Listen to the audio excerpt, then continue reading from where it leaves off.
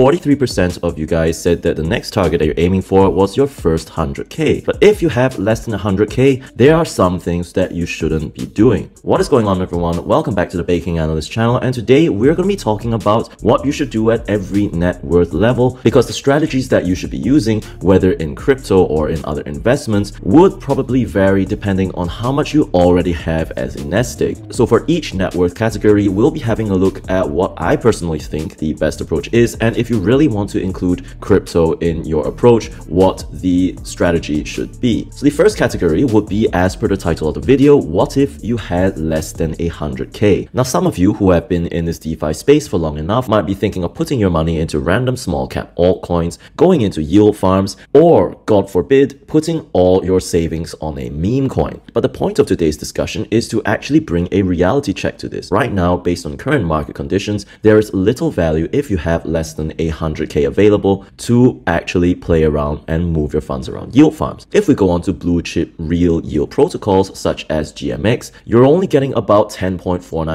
APR, which for lack of a better word is pathetic. And if you wanted to go into a newer pool, however, things like Eldorado are paying out 93% as of the moment. But when you have less than 100k, you probably only want to be putting 10% anyway aside into this crypto portfolio. The reason why this is the case is because people don't get wrecked because a coin goes to zero. You get wrecked because put too much of your funds into a high risk project with a high probability of failure that ultimately went to zero. What I'm saying is that in such such a case, if you are practicing proper risk management, then this stuff really isn't something that will pay off. For example, if you had say $10,000 to put aside, 10% of $10,000 is only $1,000 per year. So can you imagine you'll only be getting $1,000 per year for the entire year on something like GMX. And in an era where you can get 2 or even 3% on a cash account, that is not something that sounds particularly enticing. The marginal $100 a month, would that really make a difference for you? And if you have even less than 100k, let's say you have only 10k, if you put 1k into this thing, well, you're not really earning very much. So if you have less than 100k, really what I think you should be doing is to try to get that number up. So that could be through things like raising income through other sources and I've talked about this in several other videos that you can check out in the playlist linked down below. However, if you really want to make use of crypto, I think that the best strategy for you to go about doing this would be things like chasing airdrops. And the reason for this is because these airdrops allow you to build capital at a relatively cheap cost.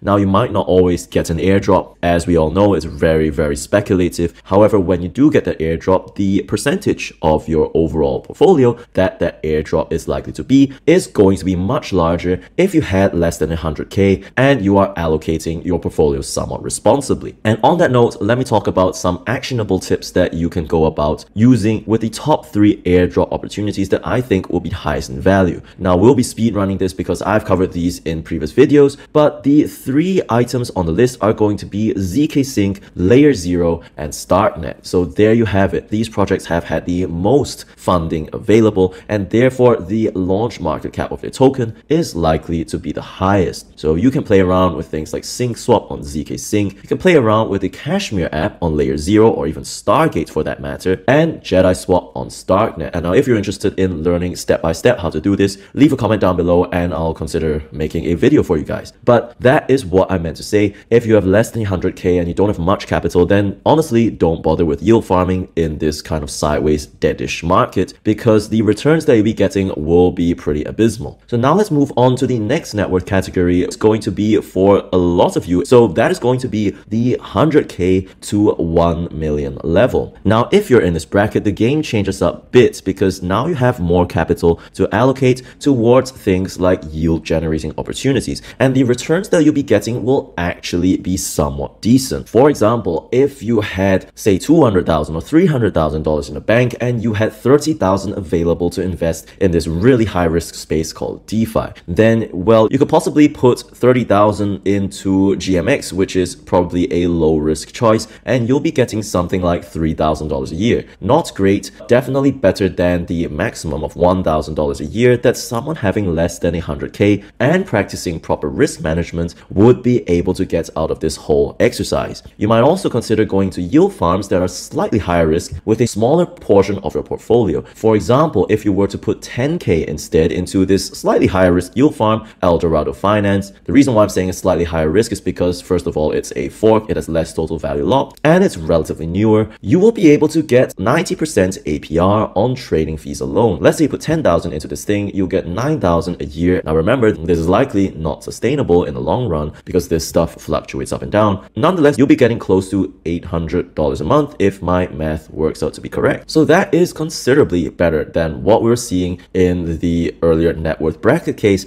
and certainly more usable in terms of actually making a difference to day-to-day -day living. So yield farms really for the lot of you who are between 100k and 1 million in overall net worth. Now, if you're among this 14% who clearly have over 1 million since 5 million is your next net worth target, then things actually change quite a bit more. And the reason for this is because when you look at more degen yield farms, the market lacks liquidity these days. And this means that there's really low total value locked in the more degenerate yield farms that are paying out higher yields. So look at this, 1.67 million total value locked across the entire Eldorado finance pool. Now, this means that if you have over 1 million and have about 100k to invest in, say, one of these pools, then you are really a market mover. You'll be the one causing slippage. You'll be the one actually impacting these yields. In such cases, the play would likely to be to go for blue chips, such as stablecoin yield farms or Bitcoin yield farms. Now, the yields might be quite a bit lower in such cases, around 20% or even 10%, or you can even go into things like GMX, that's also paying out 10%. Now, obviously, these might not sound like very attractive propositions, especially if you're looking for the highest yields possible. However, these are also likely to be the ones that are going to be sustained for the longest periods of time and are least likely to result in you losing your capital. Because let's admit it, once you reach this level of net worth, first of all, congratulations, and second of all, your priorities would probably be to preserve that net worth rather than risking it all on random shit. So that is the reason why once you are up to this net worth level, I would say that the best move that you can play would be to go for slightly lower yield, but also slightly lower risk farms. Illustrating this example, if someone were to have a $100,000 to invest in a 20%